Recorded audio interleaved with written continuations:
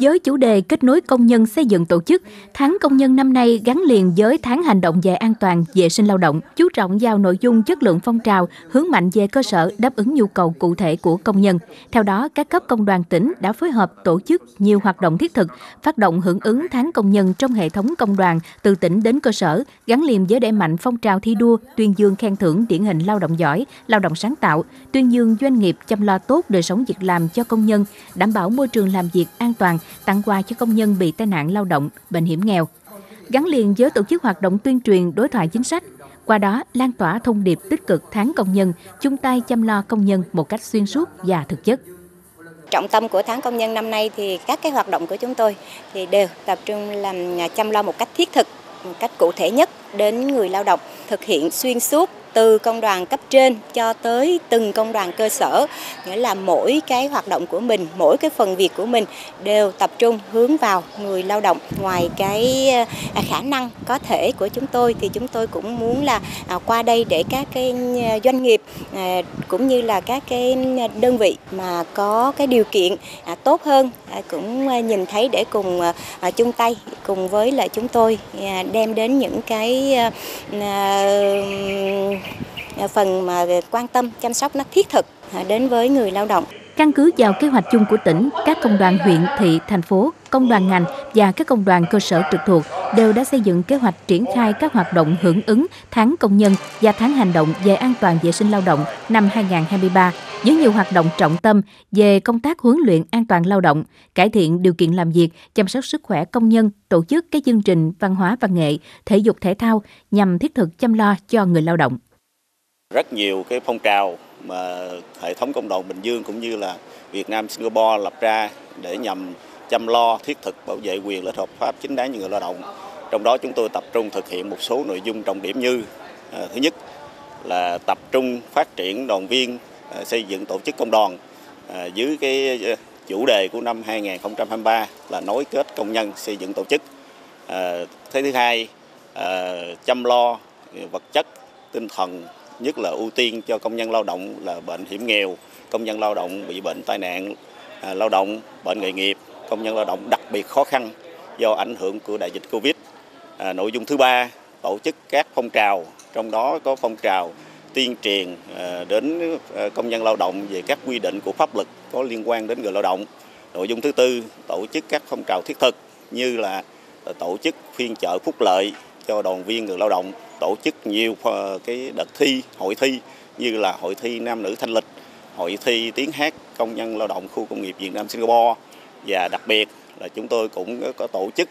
cho cán bộ công đoàn ban chấp hành công đoàn của VSIP ờ, họp mặt để tìm hiểu ờ, các quy định của pháp luật. Trước tiên là chỉ đạo các công đoàn cơ sở tăng cường các hoạt động chăm lo đời sống cho công nhân lao động. Ở bên đó, ở bên cạnh đó thì công đoàn khu nghiệp Bình Dương cũng là tổ chức các hoạt động tháng công nhân hưởng ứng tháng công nhân. Ví dụ như là chúng tôi tổ chức uh, biểu dương những công nhân lao động giỏi lao động sáng tạo tặng quà cho những trường hợp mà anh em bị công nhân tai nạn lao động nặng à, tăng cường công tác chăm lo cho những người lao động có hoàn cảnh khó khăn.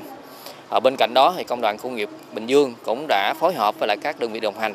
à, cung cấp các cái dịch vụ các hàng hóa ưu đãi đến triển khai đến công nhân nhằm hỗ trợ một phần cho đời sống công nhân lao động đang trong cái giai đoạn khó khăn hiện nay. Ban giám đốc và công đoàn hai bên phải phối hợp với nhau. Phối hợp với nhau thì mình tổ chức những cái những cái ờ, chương trình, những cái ờ, cái phúc lợi cho người lao động thì lúc đó mình thúc đẩy được người lao động, mình thúc đẩy người lao động và mình mang niềm vui đến cho người lao động thì người lao động ờ, cảm thấy là mình chăm lo cho họ thì họ sẽ tăng năng suất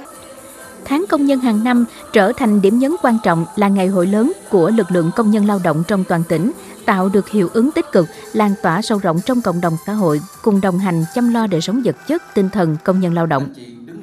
Từ hưởng ứng các hoạt động trong tháng cao điểm chăm lo công nhân đã thắt chặt mối quan hệ giữa các bên trong quan hệ lao động, đặc biệt là nhận thức đầy đủ hơn từ phía chủ doanh nghiệp đối với vai trò của tổ chức công đoàn và trách nhiệm chăm lo công nhân lao động của mình các cái hoạt động của tháng công nhân thì à, hiệu ứng là thấy rất rõ. À, bởi thế là hoạt động của mỗi một năm là nó có một cái sự khác biệt và mỗi một năm thì à, à, cái quy mô hoặc là cái tầm mà của cái việc quan tâm chăm lo đến cho người lao động nó cũng có cái sự khác. Mỗi ngày nó có ở một mức vượt bậc hơn cái sự quan tâm được nhiều hơn. Qua cái tháng công nhân này thì tổ chức công đoàn muốn gửi đến cái thông điệp đối với toàn thể người lao động là tháng công nhân là tháng của người lao động thì trong tháng này tổ chức công đoàn tổ chức uh, triển khai các hoạt động để uh,